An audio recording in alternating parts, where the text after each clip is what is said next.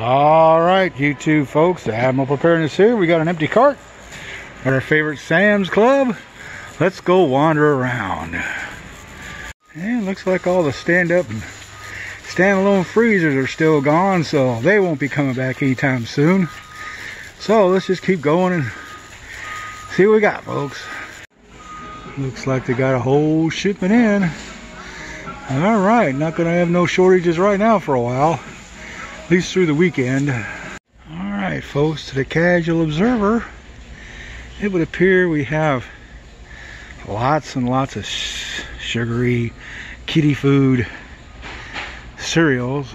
Hey, folks, you know, if you haven't taken notice lately, the boxes are getting smaller. The boxes are getting smaller. Yep, what they're doing is what they did back in the 80s. They started making the boxes smaller. You pay the same amount. Remember those cookie bar, cookies and candy bars and things that they got smaller and smaller. Look at these. Look at these boxes. Look how small these are. Look how small. The width of my hand. And when you come over here,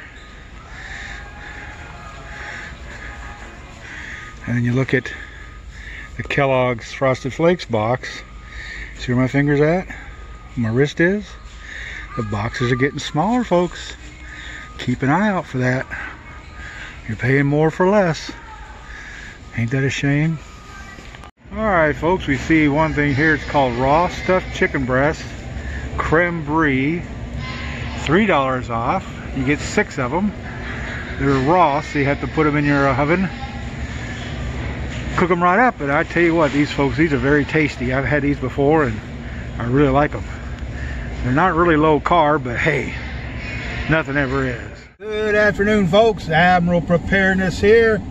Well, we just got done uh, doing our Friday shopping, and now we're going to start heading towards the homestead. And I want to take this opportunity to have a little chit chat because I really don't get to do it much because I don't drive that much nowadays only because I don't want to and if I go out I spend money.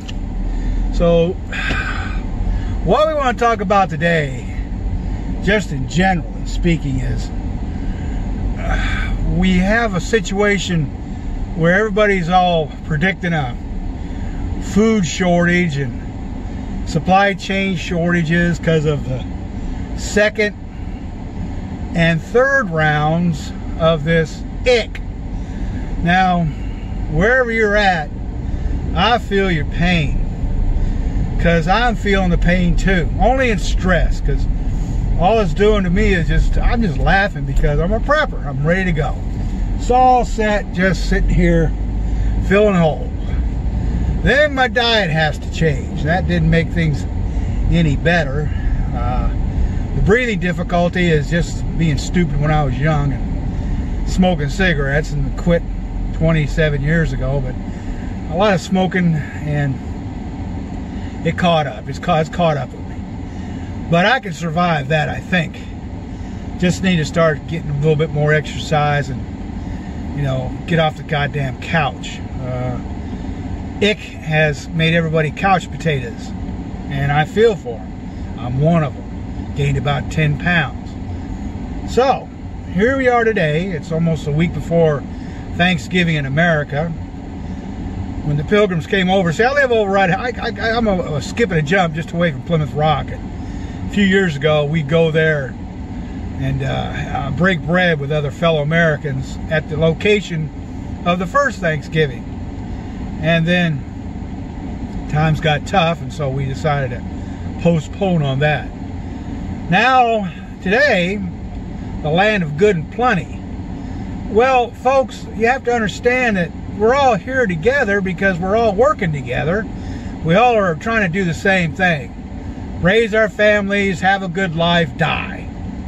You know, that's pretty much it. Leave something behind that your relatives can remember you by if, if, if they can. A lot of folks out there pass away and you don't even know they existed.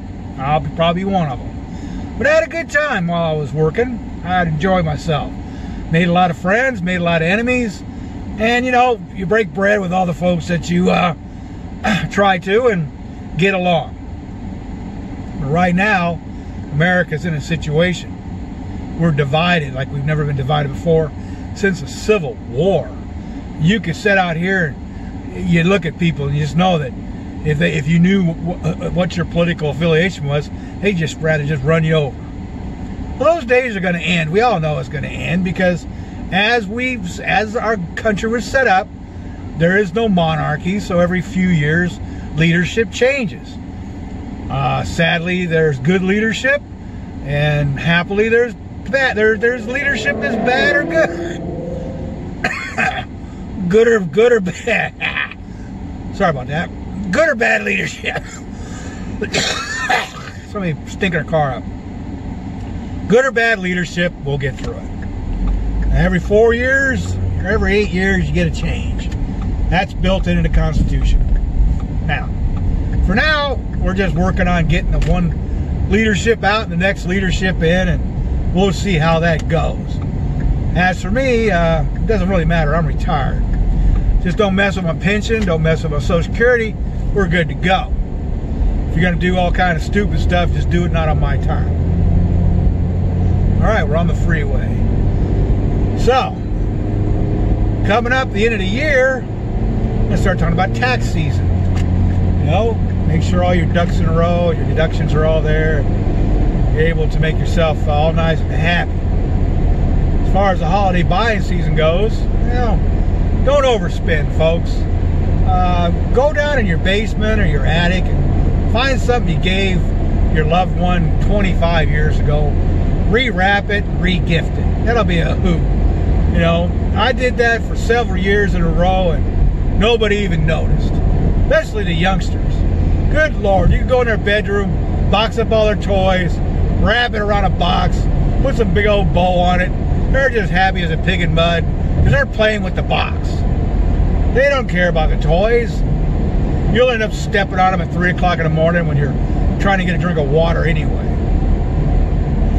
As for the new year, it's coming up, folks. It's going to be 2021. The double O's going away.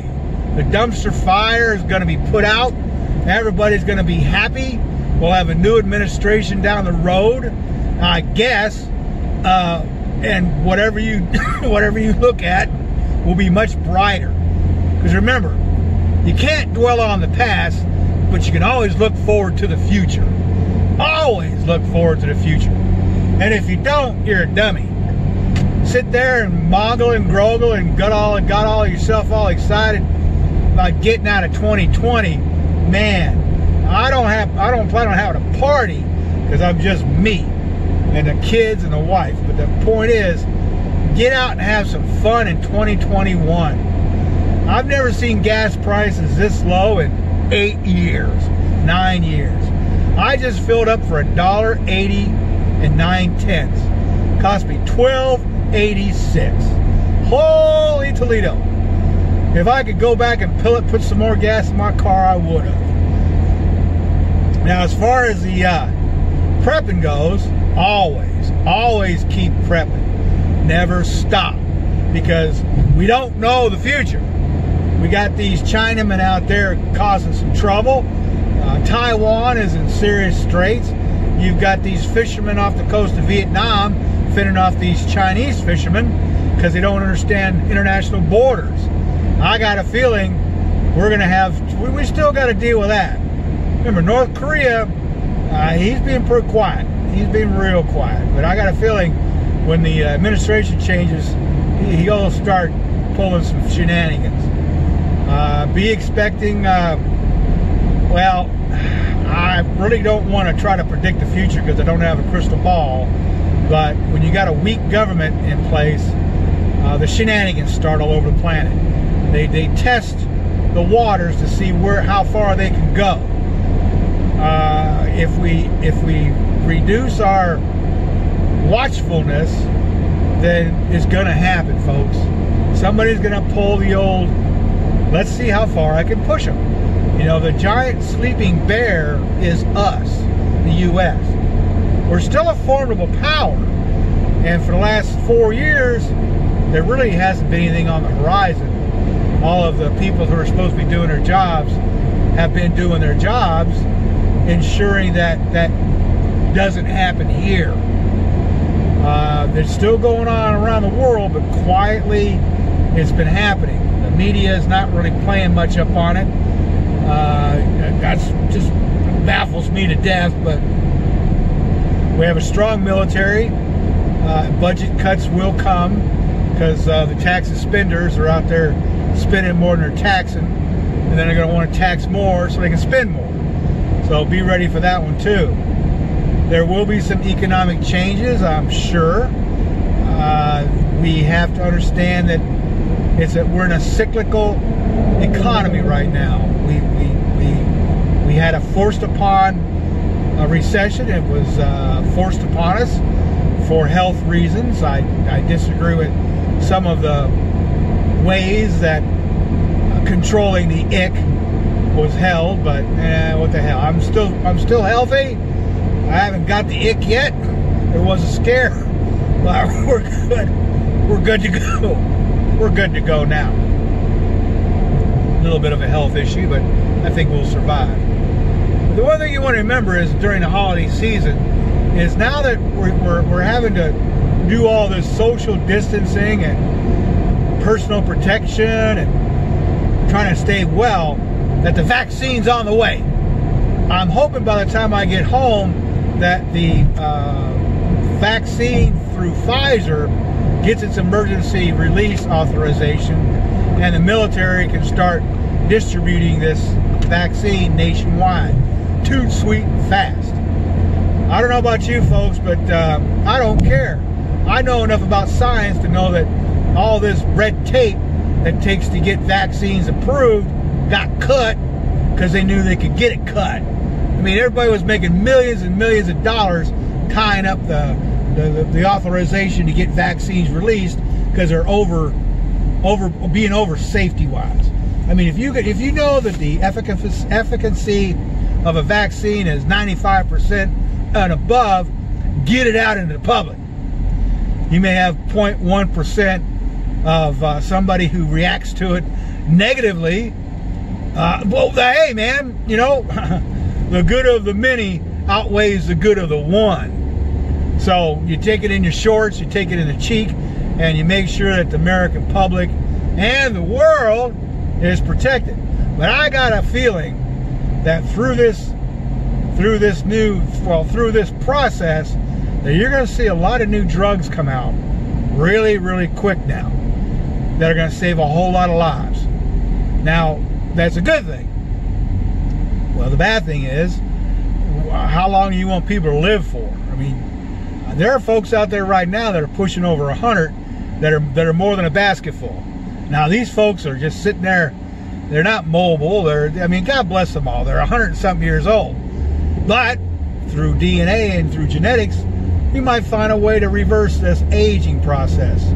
I've seen some studies and I've seen some research that holds promising truth to where we may be able to hold off aging uh, at, at any age. You just stop the aging process. Nobody wants to be seven years old forever, folks. Trust me. There was a movie once, Out of Time, where you know you you you, you the whole system was based on you stayed 26, and uh, you, if you didn't work, you didn't you didn't stay alive. You weren't productive. That's all here and there, folks. That's all fantasy, but the future holds a whole lot for young folks. Now, us old timers, all we're doing is wanting to retire and enjoy and travel and uh, be with our grandkids if you have any of those, or your other relatives that are still alive that are your age, and you want to get back together and, and reconnect or whatever. Technology's letting us do that. My God, just right now, I'm talking to you. 40 years ago, this would be like, what? What's this knucklehead doing? That's sci. That's all sci-fi. Cars and talk. The biggest thing now is automobiles. I'm looking for that future where I don't have to handle a steering wheel no more. I can sit here and take a freaking nap or uh, watch a movie or get my education advanced while I'm, while I'm going from point A to point B. A lot of people won't be getting run over. A lot of people won't be getting uh, killed in stupid accidents when somebody's gawking at somebody or chatting on a chit chat or chatting whatever. They're, they're being distracted. the automobile will be 100% really what it is an automobile. Now we got, then we'll have flying, the ability to fly from point A to point B. That's exciting too. Uh, uh, these uh, long haul airports will start to dry up. You'll be able to hop, hop, skip, and hop and skip and hop and skip. It's like you're taking a bus. The future's coming, folks. As long as we don't have a coronal mass ejection or somebody decides to take one of these uh, nuclear weapons that's just floating around out there and let it off, or another pandemic. You know, 1919 was the last time the United States had a, a serious killer. This one here is 250,000 plus. You know, when you got 360 million people and only 250,000 have died, then you look at the uh, the demographics of those folks that passed. It's not much. Unfortunately, for some folks, they may have lost a loved one, and I apologize for if it sounds crass, but those are the numbers. I, I didn't make them up. Now, as far as the pandemic of the future, you know, there are these chemists are out there in underground facilities just dreaming up ways to kill each other, to kill you and kill me, and make sure that we don't survive. But there's other geniuses out there who are fighting. Now, the biggest threat right now, excuse me, biggest threat right now would be destroying the economy. It uh, people still spending money. As long as we don't go completely digital, I think we'll be okay. And that reminds me, folks, have at least a couple hundred bucks. Have at least a couple hundred bucks cash, small bills in your possession, somewhere at home. Put in a safe place. That way, when the electricity does go out, and people continue to use cash as barter, uh, you'll be able to do that. Now the other thing is also remembering that it's uh, it's smart to have coins too. Not a lot of things going around. Just don't buy into this digital monetary system completely, folks, because it can destroy your ability to um, function. So we'll be right back, folks. We went ahead and got ourselves where we're going to go, and uh, we'll talk to you soon. And remember, folks, it can happen from the north, it can happen from the south, it can happen from the east, or come from the west. Always be prepared, and if you've enjoyed this video, please hit the thumbs up button. If you're not a subscriber, please subscribe. And don't forget to hit that notification bell, or I'll be out there waiting for you to come to me. Admiral Preparedness, God bless you all.